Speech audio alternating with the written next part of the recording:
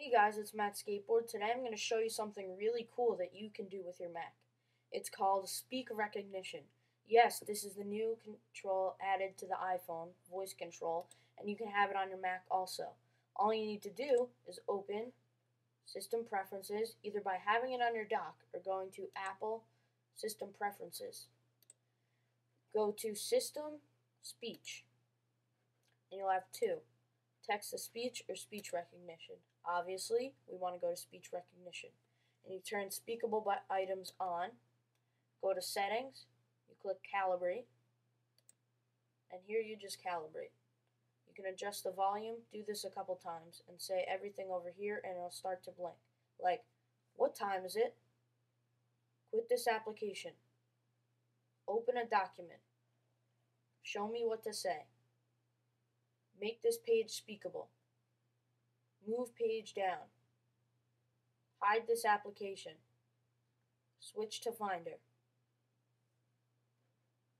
And that's all you have to do. You can choose a key to recognize when this little bubble appears when your uh, voice control recording will start. Or you can do a different keyword like computer, which makes it sound really cool like you're on a TV show. So if we do computer, open iTunes. Switching to iTunes. It'll open iTunes. So if we do the keyboard, you press what is uh, the default escape and release it when you're done saying something. So open iTunes. Opening iTunes. So basically that's voice control and it has all these different things you can do. For commands, it'll show you, you can configure them.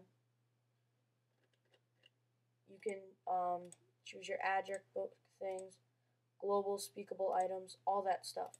So basically that's how you get speak, uh, speak recognition on your Mac.